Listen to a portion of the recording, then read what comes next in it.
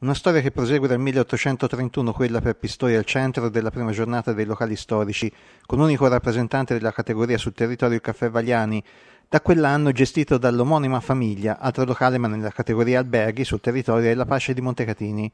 Il riconoscimento è dato dalla guida dei locali storici che riunisce più di 200 strutture in tutta Italia. È storico, il Vagliani lo è di sicuro a partire dall'edificio che lo ospita. Che è stato edificato si presume intorno al 1330 dalla famiglia Fioravanti che volle edificare accanto alla chiesa di San Giovanni l'oratorio di Sant'Antonio Abate con eh, un percorso di corridoio praticamente per il pellegrino con entrata diciamo dall'attuale via Cavour e uscita sulle, sul retro. Nel 1700 con la riforma del vescovo Scipione De Ricci l'edificio venne sconsacrato come tanti altri a Pistoia e quindi trasformato in osteria con il proprietario che stese sui preziosi affreschi nell'interno diversi strati di intonaco.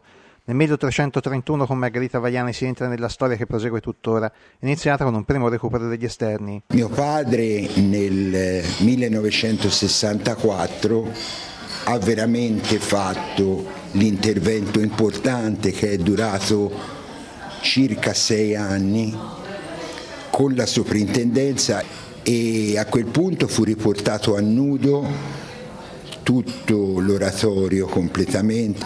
Furono tolte tutte quelle superfetazioni che praticamente eh, abbrusivano l'immobile originario. Per la giornata dei locali storici il Caffè Vagliana ha proposto la degustazione di tre dolci che anch'essi hanno fatto la storia di questo locale. La coreana che è un tipo di dolce con una crema al marzala che fu proprio inventata da un pasticcere di Trieste qui da noi, chiamata coreana perché fu fatta nel periodo della guerra in Corea e il pasticcere decise di chiamarla così. Poi abbiamo la dama che è una sorta di, di, di Saint Honoré eh, un po' rivisto perché ha, ha all'interno il pan di Spagna e guarnito con le miniere coperte di chantilly e di crema al cioccolato e la polentina anche questa è una ricetta vecchia, appunto è un, un dolce semplicissimo eh, da te diciamo e, comunque è una vecchia ricetta mh, mm, è molto gustosa, può sembrare pan di Spagna ma è più gustoso del pan di Spagna.